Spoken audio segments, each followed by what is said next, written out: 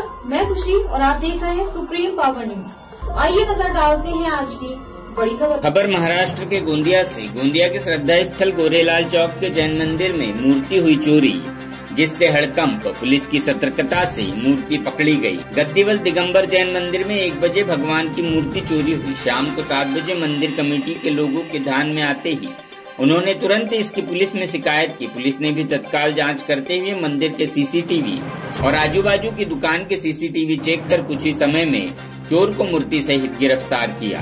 Police निरीक्षक सूर्यवंशी ने तुरंत जाँच पड़ताल कर चोर को गिरफ़्तार किया।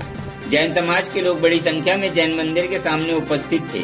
सभी जैन समाज के लोगों ने पुलिस से मांग की कि पर्यूषण महापर्व होने की वजह से हमें आज ही मूर्ति दी जाए। पुलिस ने भी भावना और आस्था को देखते हुए मूर्ति उन्हें दे दी। जैसे ही मूर्ति वापस आई, जैन मंदिर में महिलाएँ पुरुष बच्चों में आनंद दिखाई दिया। पूर्व विधायक राजेंद्र जैन और सभी समाज बंधुओं ने पुलिस द्वारा किए गए कार्य की सराहना की। महाराष्ट्र गोंदिया से सतीश पारधी की रिपोर्ट। आज दिगंबर जैन मंदिर मध्ये दुपारी एक वाजता भगवानची मूर्तीची चोरी संध्याकाळी सात वाजता जैन मंदिरचे जे पदाधिकारी आहेत त्यांना समजला. ताबडतोब पोलीसला निरोप देण्यात आला.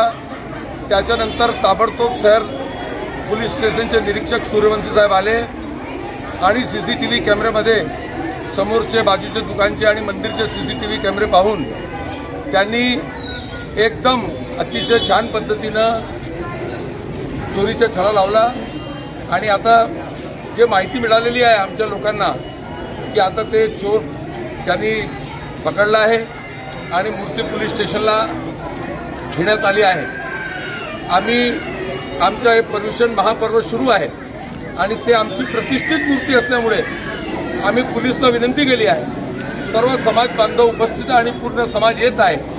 शांतीपूर्वक मार्गाने आम्ही विनंती केली आहे की हे पर्युषण महापर्वमध्ये आमची प्रतिष्ठित मूर्ती असल्यामुळे ते रात्री परत करा आणि आम्हाला असं वाटते की पोलीस आमची आस्थावर लक्ष घालून ते मूर्ती रात्री आम्हाला वापस करतील. आणि अशा पद्धतीनं आम्ही शांततेनं भगवानची भक्ती करत आहोत.